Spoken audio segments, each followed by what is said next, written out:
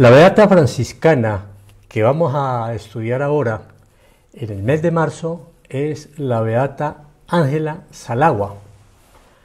Ángela nació en un hogar campesino muy pobre pero muy religiosos el 9 de septiembre de 1881 en una región muy árida e improductiva, más o menos a unos 18 kilómetros de Cracovia.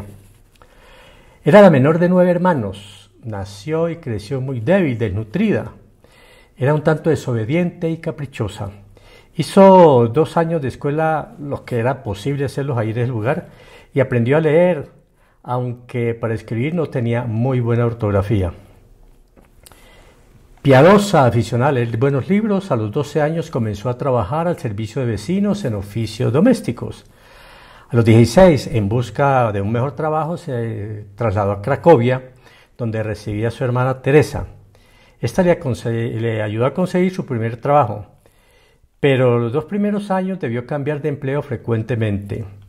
En los primeros tiempos era vanidosa y frívola y no muy piadosa, y mientras su hermana, según ella, iba de afán camino al, del cielo, ella también quería llegar, pero despacito. Sin embargo, siguió fiel a sus prácticas de piedad y a sus deberes religiosos, quizá un tanto rutinariamente. Los consejos de su hermana y la prematura muerte de ésta la movieron a cambiar de conducta y a tomar más en serio su vida. Bajo impulso natural abandonó la frivolidad en sus diversiones y en su apariencia personal. Pensó algún tiempo en ingresar a un monasterio. Después de consultarlo con su confesor, hizo voto de castidad perpetua.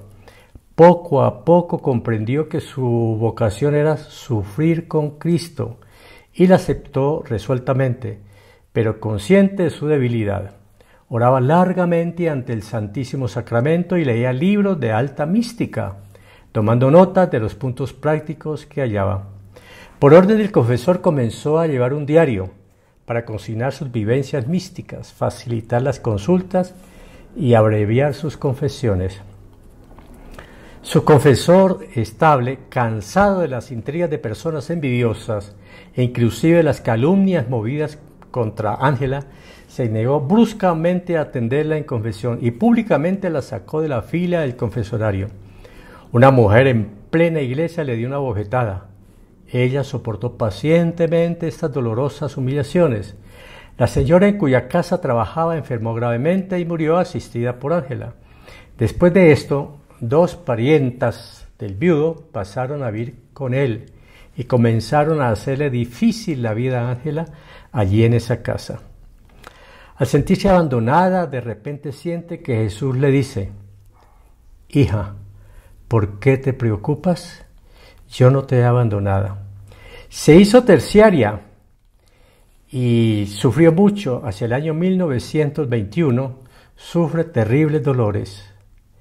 Fue beatificada el 13 de agosto de 1991 por Juan Pablo II en Cracovia. Esta es una reseña de nuestra hermana terciaria Ángela Salagua. Ángela Salagua. Hasta una próxima oportunidad, hermana, hermano. Paz y bien.